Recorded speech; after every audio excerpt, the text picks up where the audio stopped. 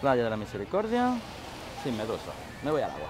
Evitar sorpresas y picaduras es lo que pretende esta aplicación para móvil creada por el Aula del Mar de Málaga que alerta sobre la presencia o no de medusas en todas las playas de la provincia. Que la gente venga a la playa informada, que sepa lo que se va a encontrar. Pues si hay bancos de medusa, que sepa que los va a encontrar y también intentar en la medida de lo posible, pues darle alternativa. Porque aunque una playa pueda presentar este aspecto, muchas veces es posible encontrar otra cercana completamente limpia. Depende en gran parte del viento. El levante es el que arrastra las medusas, así que las playas abiertas a poniente suelen estar más protegidas.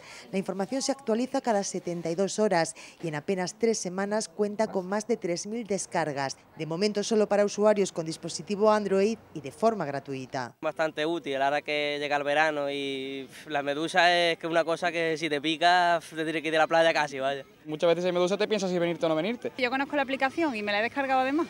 Me parece muy práctica. En la aplicación puedes ver qué tipos de medusas son las más frecuentes, la peligrosidad de cada una de ellas, podemos saber los primeros auxilios en caso de picadura. Lavar la zona afectada, pero nunca con agua dulce. Lo mejor es utilizar suero fisiológico o agua salada del mismo mar. Afortunadamente, la mayoría de las medusas que tenemos aquí no son realmente peligrosas. Eh, sus picadoras son muy molestas, como puede ser una ortiga de mar o lo que es una, una avispa pero eh, son, no son realmente venenosas en cuanto a un peligro de muerte o algo así.